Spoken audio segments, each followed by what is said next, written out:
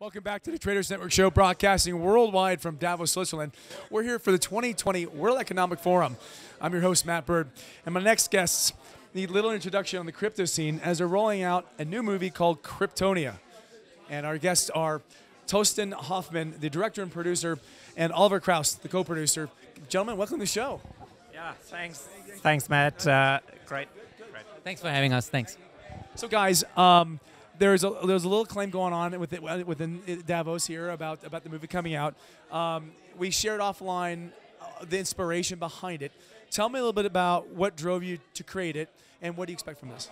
Yeah, so I did a small Bitcoin movie five years ago, and since then, as you know, the space has exploded. Right, it's hundred times bigger. There's big scams and big billionaires in the space. So there's there's a lot of action, and now I think it, it has permeated into the mainstream. Right? People talk about blockchain here. It's all over Davos. So it's it's only natural to make a film. I love that. And you know, Oliver, I, I want to thank you. Uh, in, the wee hours of morning while you're flying back into Europe, uh, Oliver called called me and said, "Well, you have to sit down and we have to do this." And I'm so glad we had a chance to bump in here. You know, of all the places, of all the people, with all the thousand people here, we end up finally colliding, and I'm glad. Oliver, um, tell me what this movie was like for you. Well, uh, for me, it's super exciting to uh, have been able to be part of this project. Uh, and when Torsten came up with the idea like one and a half years ago, I was really uh, passionate about it. And uh, I uh, basically opened up my Rolodex and uh, connected him to many people, to Fabian Vogelsteller, the inventor of the ERC20 token, Bruce Pons, many of the, the big uh, uh, bright guys here in the space, and I think we got some pretty exciting stuff out of it with his team. That's amazing. So tell us a little bit what was like producing and directing this, because you mentioned something about all the, the kind of the hurdles, the ups and downs, some of the scandals, and, and you couldn't be more true. It's what everybody thinks of when they think of crypto, and where is it going? Take a long, take a minute. Tell us a little bit about the experience you went through. I think is making a film is one thing we all know, but you're making a film about what's happening in real time right now, and it's in an investment community. This is going to mean something. So I'm going to pass this to you. Thanks. Yeah, so I think um, the challenge of making a film like this is how do you stay relevant? This, the space is moving so fast. If I talk about a project that's dead in two months' time, why do I want it in the film? So the, the, the, challenge is to write it in such a way that it's still accurate in two, three, four years' time. And I think I went through that exercise five years ago in my first Bitcoin film. It's still 90% accurate, so I kind of have have a, have a good feel on it. And regarding the the personalities, you know, for me, it's kind of fun to, to talk and challenge those people, right? They they believe their own bull bullshit so much, they rarely have journalists asking the tough questions. And I'm trying to do that. And actually, they enjoy it. They enjoy me asking the tough questions. I don't know how it is for you. You have a similar role, I think, right? you know what? I, I, don't, I don't really ask tough questions. I, I throw them up like this and let you guys go, you know, tee them up, knock them out. Uh, but no, get in, get in some of the stuff. Tell us some of the questions you ask. So what are some of the, the takeaways and highlights that you could look back and go, I cannot believe that happened? Yeah. Well, I mean, five years ago, all these guys were on the same team. They were fighting against the establishment. Now they're fighting against each other. My coin is the real Bitcoin. This guy is the wrong Bitcoin. You know, stuff like that is happening. Then they all talk about, oh, we're building this decentralized currency, this decentralized system. But there's one guy in charge of it, one guy uh, with all the billions of dollars uh, behind it. So you have to really question some of these big, big claims, and that's why the film is called Cryptopia. There's a lot of utopian or crypto-utopian ideas behind it.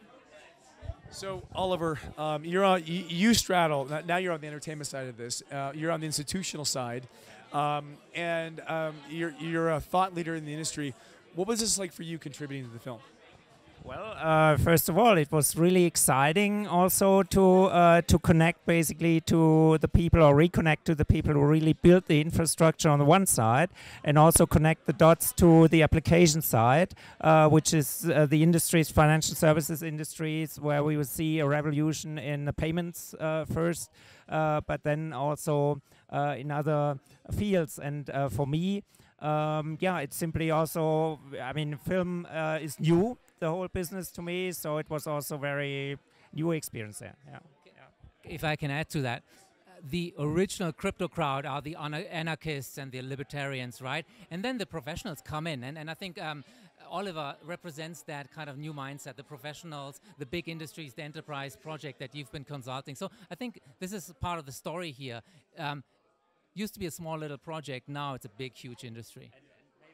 Maybe also, I mean, what we are doing with Entitled now is basically we build on that and launch own ventures, like, for example, Liquidity, I'm looking into um, utilizing uh, these uh, inventions and innovations um, to uh, to do um, security token offerings for the, the professional sports teams, which means um, combine innovative funding and fan engagement, which was not possible with conventional um, financial services instruments.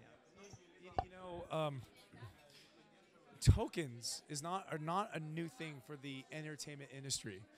Um, it, we we forget at a very young age, we all played skee ball, you know, in Chuck E. Cheese or whatever. You roll the ball, kids, and their little little tickets come out, and you exchange those tickets for a piece of candy. And fundamentally, we're talking about the same thing, except they're virtual instead of a physical ticket. As you're exchanging them, you know, bartering for, for commerce. You know, uh, I think the entertainment industry is, is a great way to top off and use that kind of that kind of. Yeah, and exactly, and there's a lot of emotion also there. Uh, and this is why uh, this could be a space where we will see uh, maybe mass adoption relatively early. Um, versus uh, in other industries, for instance, in the financial services industry, more, more broadly in the corporate world, we will see more, uh, let's say, blockchain inside solutions. So things that where you will see products that are using the technology, products and services, but not so much talking about uh, blockchain or DLT. Um, because we don't we use our phones without uh, let's say talking about a TCP/IP protocol or something like that. We, but still, it's essential that it works. Yeah. So. So okay, so um, I tell you what. Before we get into rat rolling this up, because I know you're also very busy, and we got a crazy crowd upstairs at the Caspian Week here. Uh, MIT is throwing some sort of like you know panel session up there, and you probably hear the noise pouring in here. Um, can you give us a little spoiler? Yes, I can. Um, so we were the only film crew to ever be allowed in the secret Bitcoin bunker. This is a cool story. You're gonna love that. It is a thing. 10% of all private keys are held in that bunker. It's a secret location in Switzerland, a decommissioned military bunker, nuclear grade doors, uh, uh, various security measures. It took us weeks to get in there, and we couldn't even film half of it because it was so secret. You go inside the bunker, then down into like an elevator. It's, it was crazy. So it's a, it's a fun little four minute sec sequence in the film, and the insiders because they have not seen it, and the outsiders who have no idea about crypto, they start to understand, wow, this is a real industry. There's real infrastructure being built. These guys are, you know, mean money. Uh, and and you probably be um, you probably have a lot of hackers out there paying real close attention. Um, that's real money in, in, a real military institution. Um, let's talk about the rollout. It's rolling out worldwide. Where did it start? Where can we expect it to end up in New York?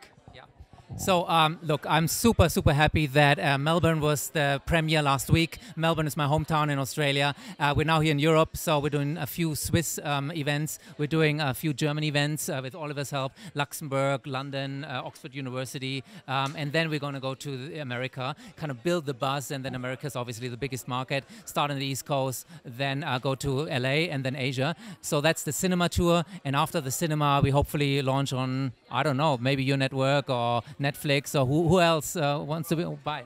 I tell you, you, you let, give us a, a, red carpet pass, and, and we'll be there. we'll be there. um, ladies and gentlemen, Cryptopia. Uh, we've got Torsten Hoffmann and Oliver Krause. Gentlemen, thank you, thank you for coming on. I really appreciate it. It's really good to see you. You're always a delight to have.